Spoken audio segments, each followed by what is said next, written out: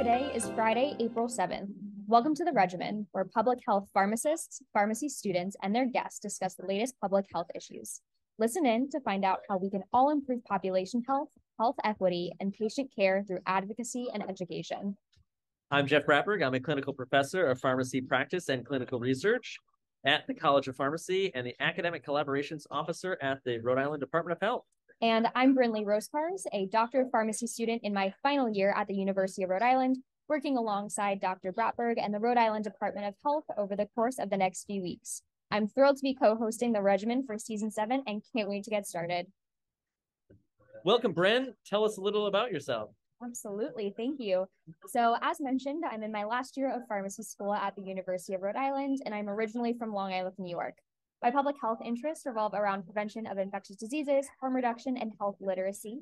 And some of my other interests include medical writing and drug information. That being said, I'm truly excited to be working on this podcast, and I can't wait to share what exciting episodes we have ready for this season. All right, I'm excited for all those episodes as well, and also being important to mention that everything we're talking about on the podcast is always our opinions and not those of the United States government or the University of Rhode Island or the Rhode Island Department of Health. But mm-hmm. with that said, what's coming up?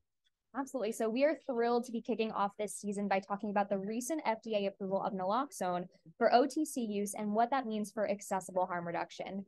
We'll also be covering exciting topics, including the potential for community health workers in pharmacies, practical solutions to health misinformation, the pharmacist's role in promoting oral health, and how we can work towards hepatitis elimination. We'll be releasing new episodes each week, so be sure to tune in and stay up to date with all things the regimen for everything public health.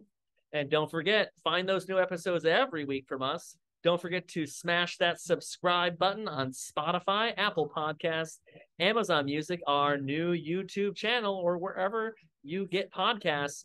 Find out about new episodes if you're not subscribing, uh, but I know you're going to, on Twitter and Instagram with at PharmDPubHealth and turn on those notifications so you never miss an episode.